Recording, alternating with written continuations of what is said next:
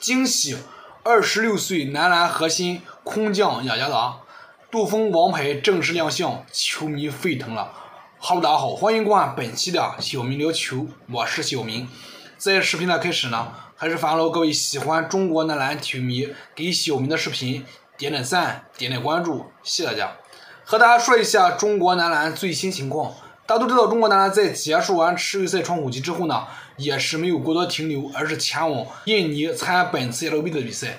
作为中国男篮来说，我们自然是希望能够在本次比赛中啊收获冠军，因为在之前，包括澳大利亚队也是多名主力缺席比赛。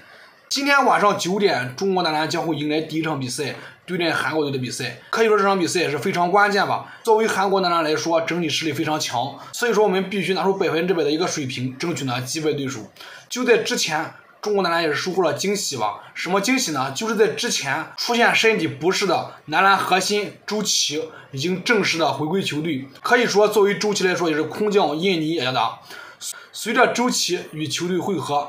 作为杜锋来说，他的王牌啊是正式的亮相了。因为周琦不管是在内线防守还是护框能力都是非常强的。作为球迷来说，也是彻底的放心了。因为目前来看，如果中国男篮在内线方面没有周琦这个屏障的话，在面对韩国队的时候啊，确实有些吃亏吧。因为韩国队有一个规划球员。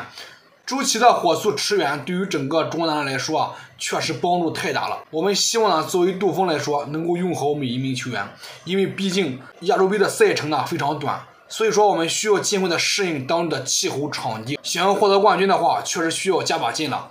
也是祝福中国男篮能够在本次比赛中啊获得冠军吧。好了，欢迎观看本期的小明聊球，下期再聊。